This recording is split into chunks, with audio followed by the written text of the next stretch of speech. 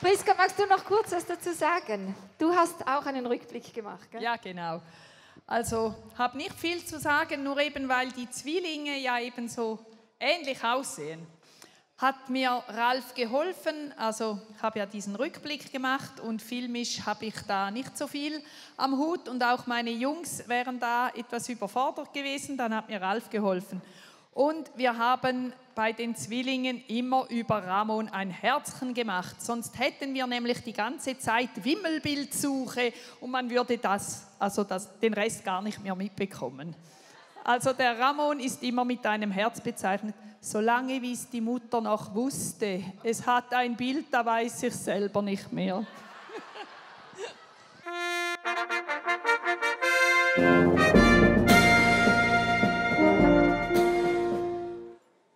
Übernamen von Ramon. Ramone Bobone, Rampi Zampi, Ramel Kamel, Remmel, Raymond, Würstli. Am 27. November in der Nacht ist Ramon nach eineinhalb Stunden Wehen als fünftes Kindlein auf die Welt gekommen. Wie alle wissen, nicht alleine, sondern fünf Minuten nach seinem älteren Bruder Joas. Hier sind sie drei Wochen alt. Ein paar Tage später bekamen beide eine so starke Bronchitis, dass sie in die Intensivstation mussten. Der Herr aber schenkte Gnade und so konnten sie nach einer Woche schon fast wieder gesund nach Hause. Es gibt sehr wenige Föteli, wo Ramon alleine drauf ist, denn ein Zwilling kommt eben selten alleine. Für uns als Eltern war es ein neues Erlebnis, zwei aufs Mal. Vieles wirkte auf einmal lustig, zum Beispiel, wenn zwei in der Wiege gleichzeitig Bildle anschauen. Als die Zwillinge etwa drei Monate alt waren, hatte ich als Mutter selber Mühe, die beiden zu unterscheiden.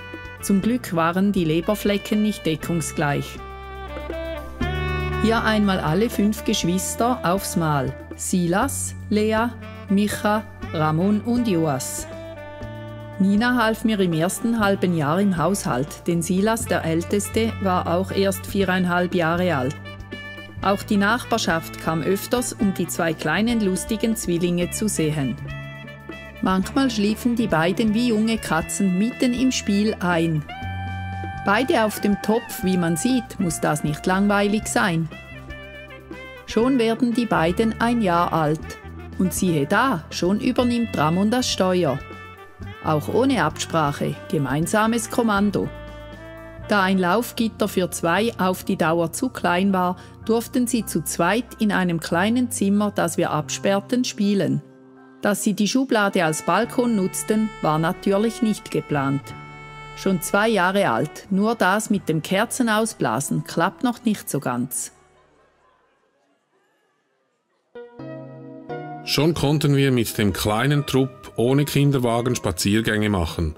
Hier in den Ferien im Bregenzer Wald. Früh übt sich, was ein TC-Leiter werden will. Für Uneingeweihte. Ramon leitet in der OCG immer wieder alt und jung in praktischen Arbeiten an. Und natürlich muss man das von der Pike auf alles zuerst selber lernen. Schon kommt der kleine Timon zur Welt. Wie noch heute war Ramon ganz hin und weg, wenn er Babys sah. Hier wird um die Wette gelacht. Mit drei Jahren bekamen sie ihr erstes Instrument und schon wird geübt, was das Zeug hält. Schon werden sie vier Jahre alt. Man beachte die Lockenpracht. Hier im Tessin scheint die Wanderung zu lang, der Rucksack zu schwer und die Sonnenbrille zu groß zu sein. Aber schon mag Ramon wieder strahlen. Wenn fünf Geschwister innerhalb von viereinhalb Jahren zur Welt kommen, können sie sehr gut miteinander spielen. Wieder ein kleines Geschwister, Tirza. Ob Ramon da schon für die spätere Bühnenpräsenz übt? Der sechste Geburtstag. Ramon bleibt ein pflegeleichtes Kind. Sehr hilfsbereit und dankbar. Für jeden angenähten Knopf oder geflickte Hose bekommt Mami ein Dankeschön. Immer mehr entwickelt Ramon sich zum Familienclown. Hier ist Ramon etwa 13 Jahre alt.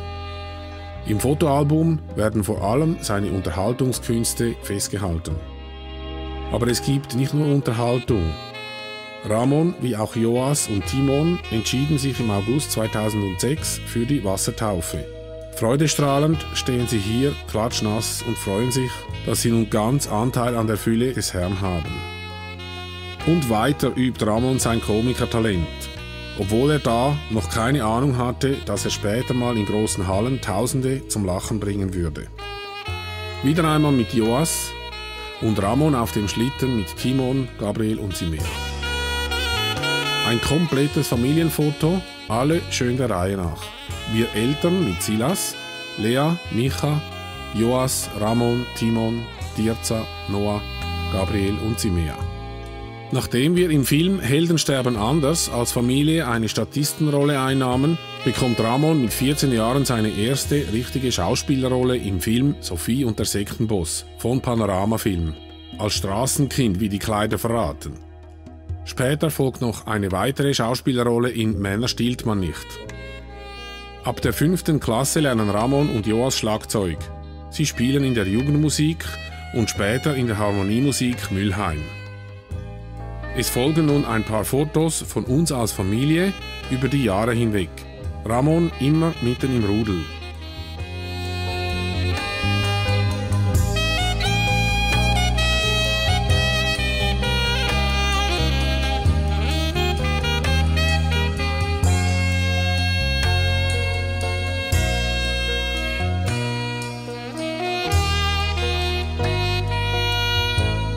Und was je länger, je mehr geworden ist, die Lieblichkeit, wenn Brüder in Eintracht zusammen sind, in den Ferien,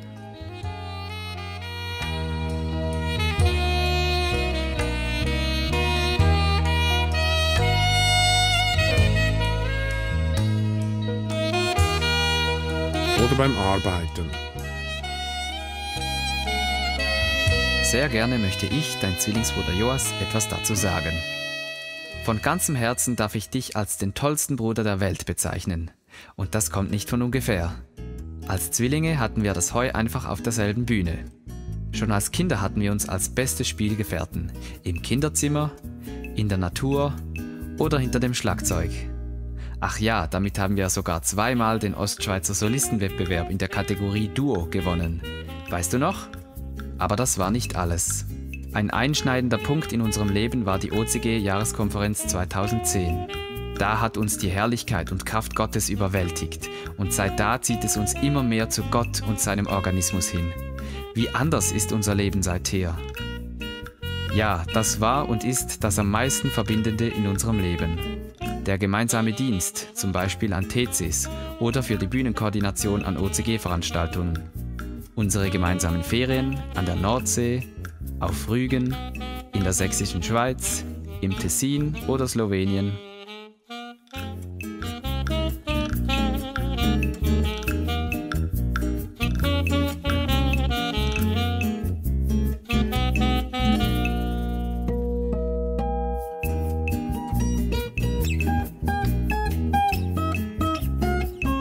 Oder auch sportliche Aktivitäten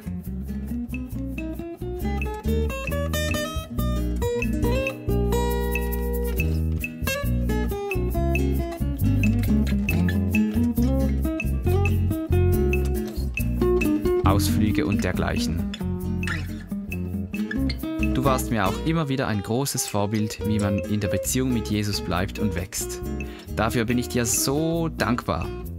Das Schönste war es immer, wenn wir gemeinsam Jesus erleben durften. Sei es, dass wir uns in einer Krise ihm anvertrauen oder dann wieder zusammen durchbrechen durften. Eigentlich egal, ob gefühlt im Himmel oder auf dem Boden, Immer wenn wir in Jesus verbunden waren, dann war es das Schönste auf Erden. Und genau das wünsche ich dir auf deinem zukünftigen Weg mit Anna Sophia, dass ihr in ihm und in seinem Organismus bleibt und er in euch, in Freud und Leid. Ach ja, dass ich überaus glücklich bin, dass du die Frau deiner Träume gefunden hast, das weißt du ja.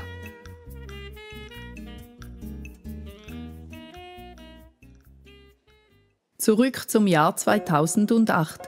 Obwohl Ramon und Joas die ganze Schulzeit nie zusammen in derselben Klasse waren, hatten sie, wie ihr gerade gehört habt, als Zwillinge einen engen Zusammenhalt und verbrachten ihre Freizeit meist zusammen. Mit der Lehre kam dann die erste Zeit, wo sie ganz andere Wege gingen. Ramon lernte Schreiner, Joas Zahntechniker. Je länger, je mehr stellte Ramon seine Fähigkeiten in der Freizeit in den Dienst der OCG. Das Wochenende war für ihn stets das Highlight der Woche. Nicht im Ausgang, sondern an den Trainingscamps, wo er zuerst selber lernte, wie man eine Predigt nicht nur hören und als gut befinden kann, sondern wie jede Predigt praktische Punkte fürs eigene Leben beinhaltet. Diese praktischen Punkte dann umzusetzen beim Arbeiten, das lernten Groß und Klein an den Trainingscamps. Mit der Zeit wurde Ramon selbst Leiter von Trainingscamps. In Front-Trainingscamps in einer Gruppe mit mehreren Jugendlichen lernten sie geistliche Inhalte mit der Arbeitsvorbereitung zusammenzubringen, um sie dann jeweils in einem weiteren Schritt mit Groß und Klein am Samstag umzusetzen.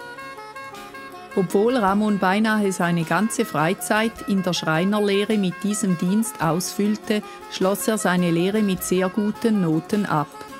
Überhaupt tat dieser Dienst Ramon gut. Wo er vorher oft unsicher und eher ein Anpasser war, lernte er selbstständig Entscheidungen fällen und ganze Gruppen nach klaren Zielen zu leiten. Nach der Lehre kam die Rekrutenschule in der Militärmusik, wo Ramon und Joas das erste Mal seit dem Kindergarten wieder zusammen waren. Von der Musikausbildung profitierten beide sehr.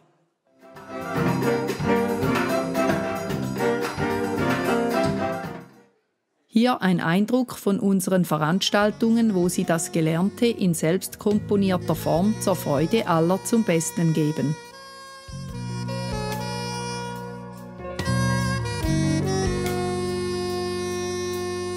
Da die älteren wie auch jüngeren Brüder ebenfalls gerne Musik machen, ist die Bühlerband entstanden, deren Musikstücke diesen Film untermalen. Ich stelle als Mutter fest, dass Ramons persönliche Vorlieben alle wunderbar geformt wurden und werden, so dass seine originellen Eigenschaften aus ihm immer mehr ein wertvolles Glied im Menschheitsorganismus ausmachen. So wurde aus dem Familienclown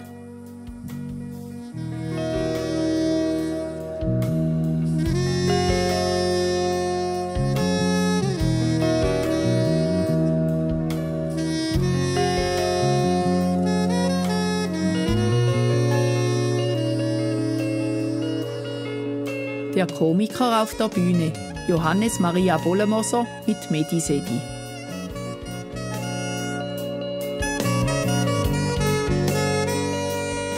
Die unbändige Energie und Freude am Extremen,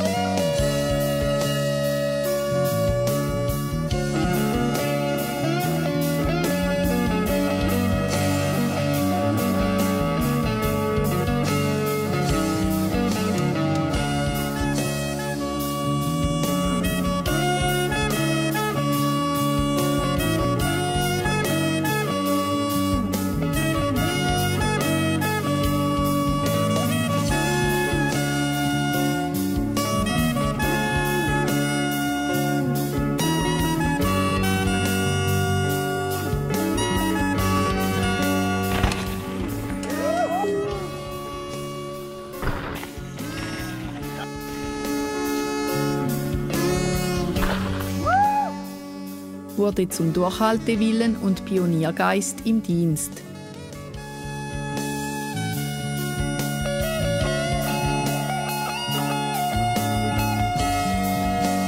Seine spezielle Liebe zu Kleinkindern und kleinen Tieren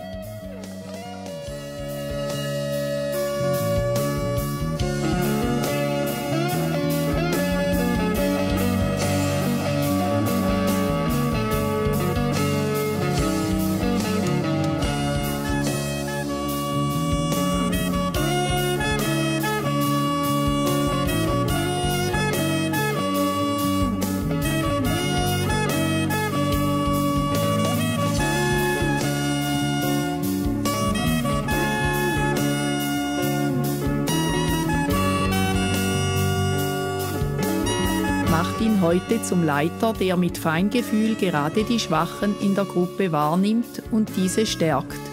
Last but not least, warum wir ja heute alle hier sind, In seinen Diensten lernte Ramon auch Anna Sophia besser kennen und seine Wünsche wurden mit ihr mehr als erfüllt.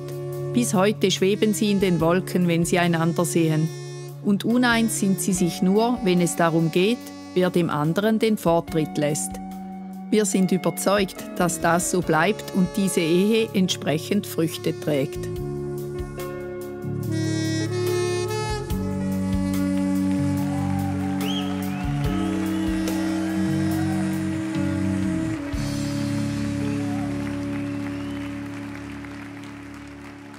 das ist doch so interessant, weil man ein bisschen hört, was dahinter steckt. Anna-Sophia hast vielleicht auch noch nicht ganz alles gewusst.